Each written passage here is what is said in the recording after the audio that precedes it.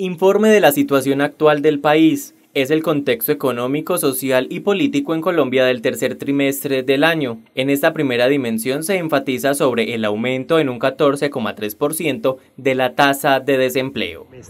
Damos cuenta de que ya se ha pasado la peor parte del momento más crítico de la pandemia que la reactivación económica empieza a hacerse manifiesta, aunque no genera tantos empleos como se podría esperar y se necesita hoy para poder recuperar la economía personal y familiar de miles de colombianos de clase media y clase eh, baja.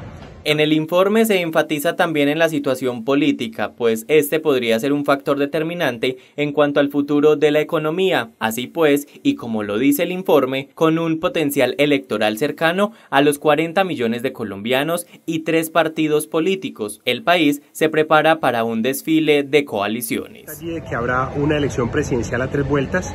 Eh, yo diría que habría también una cuarta vuelta en noviembre, habría un decantamiento de los 58 candidatos, aspirantes y queredores que hoy tiene la presidencia de Colombia. El 13 de marzo sería esa segunda vuelta y la tercera y cuarta vuelta serían la primera y segunda vuelta, que hoy está garantizada, pues aunque hay un dominio eh, importante según las últimas encuestas de Gustavo Petro eh, hacia la presidencia, pues hoy no se consolida como el ganador absoluto.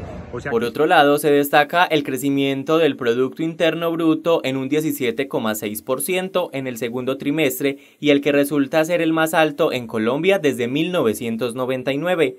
El informe completo lo puede encontrar en la página web www.jaramilloluján.com.